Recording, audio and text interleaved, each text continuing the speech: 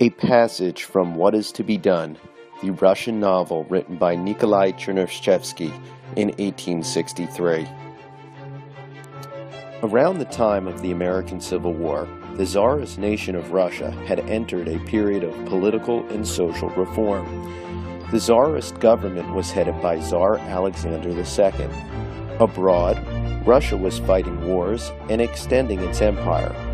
But at home, anarchists and Marxists had called for great reform to ease the suffering of common workers and the poor.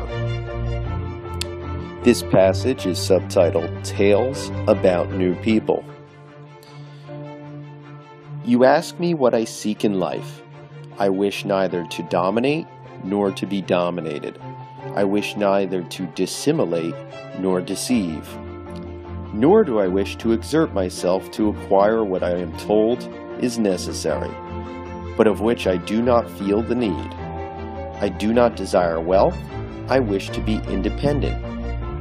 What I need, I feel that I have the strength to earn. What I do not need, I do not desire.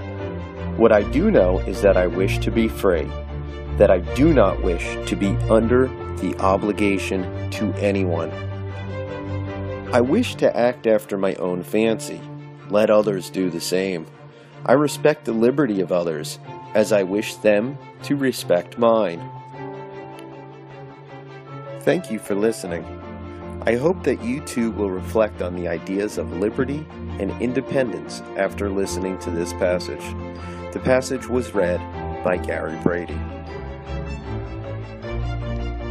If you enjoyed this video, please subscribe to my channel.